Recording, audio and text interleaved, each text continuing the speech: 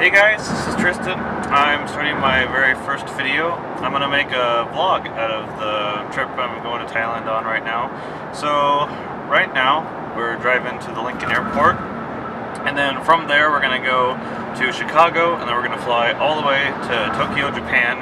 And then from there, we're going to go to Bangkok, Thailand. So we're going to spend a few days in Japan. Probably won't get this video uploaded until we get into Japan, because then I'll have time to get to my computer. But uh, so yeah, I'll be taking videos along the way and hope you guys enjoy. So I'll see you then.